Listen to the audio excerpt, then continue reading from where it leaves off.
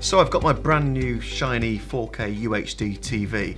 Are there any 4K sources that I can plug into it and sit there and watch? Well, yes, on the market now there are products you can buy. There's um, Sony have got a 4K media streamer. Amazon have just released a 4K media streamer. Uh, BT Sport are now broadcasting BT UHD Sport, so they're showing Premier League and European Champions League football in 4K, 4K UHD. In fact, the channel itself is called BT Sport UHD. That's where that UHD comes in again. Uh, Netflix have been streaming 4K content. In the commercial market, there are definitely a lot of digital signage players that have 4K content, and that's probably where you see the benefit of 4K most. On great big video walls, 4K looks astounding because you can see that detail mm. from a long way away. Um, and the last thing that's coming out um, in the near future is the new 4K Blu-ray player, and I think this is probably the product that will drive the market even more, because a lot of these other products rely on bandwidth because you stream the content.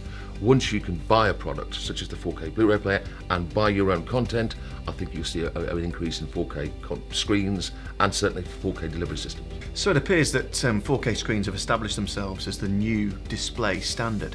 What's next? There is now technology, something called HDR, High Dynamic Range. You probably know about this because anyone's got an iPhone.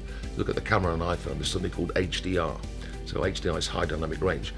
So what this actually does, if you consider that you, if you look at a, a scenic, um, look out the window, look at a scene of grass and blue, the human eye sees lots and lots of shades of green and lots and lots of shades of blue in the sky.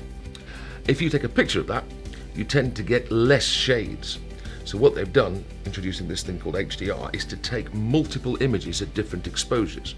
So that means you've got more shades of each colour. So you've got darker greens and lighter greens, darker blues and lighter blues. So by combining those images, you get, you get a greater range of colour.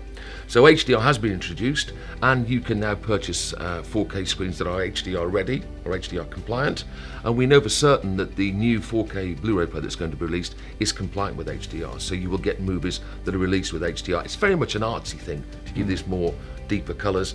Maybe in sports not so important, but certainly in cinematic um, movies, you will look at this HDR as possibly the next best thing. And of course, uh, 8K. We've got 8K already in Japan.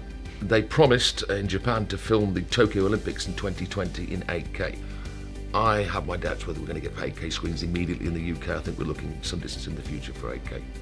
Wow, only a few years to wait until we get to see 8K. Neil Walton from CYP, thank you very much for joining us. You're welcome. And if you'd like more information, please join us on the howtoav.tv channel.